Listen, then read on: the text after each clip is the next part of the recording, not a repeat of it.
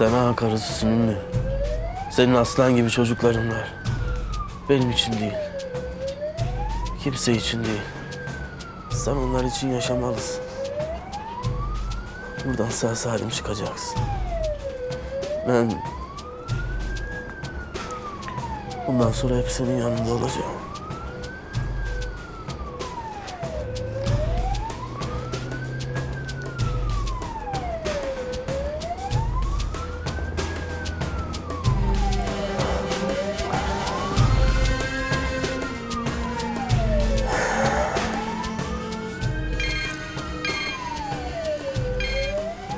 Efendim Esma.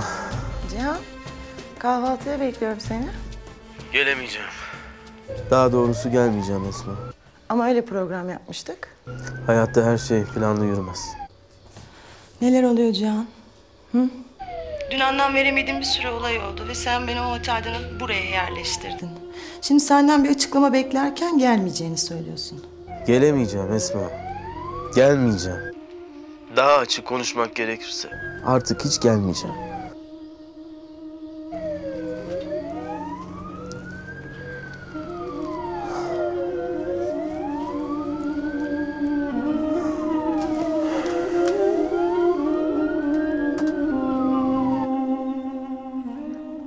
Beni affedin. Hepsi benim yüzümden.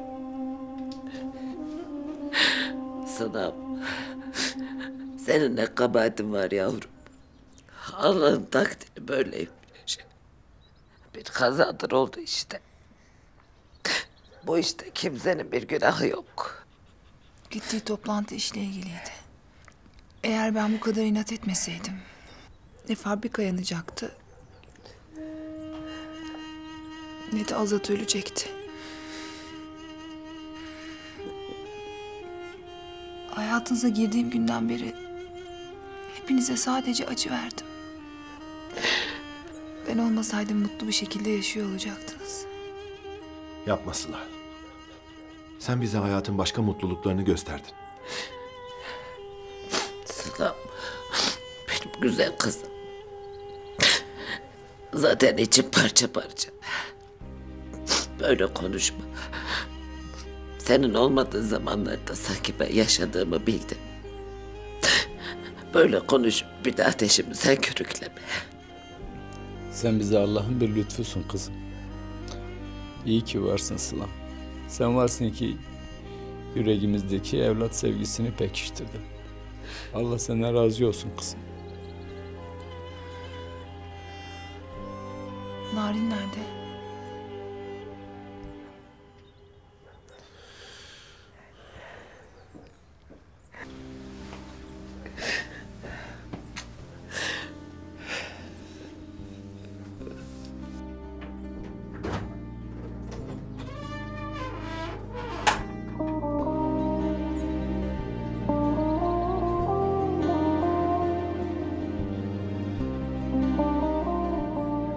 Uyuyor musun Narin?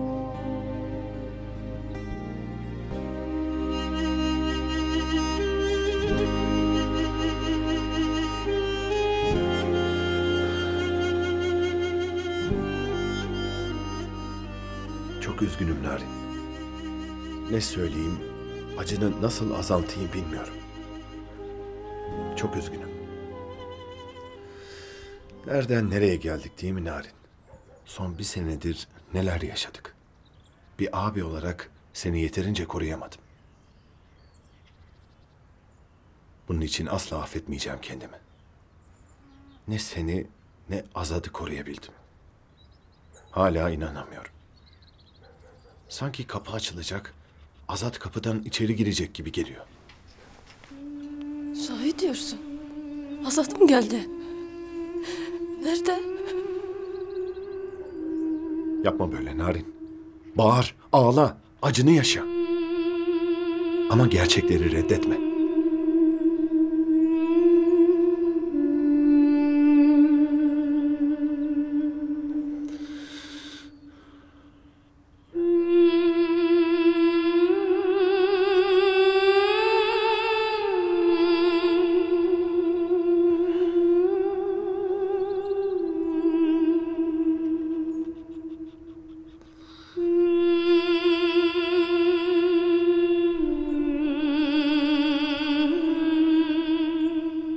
bakacağız Sıla. Narin hiç iyi görünmüyor. Bizi biraz yalnız bırak. Narin gördüğüm en güçlü kadınlardan biridir.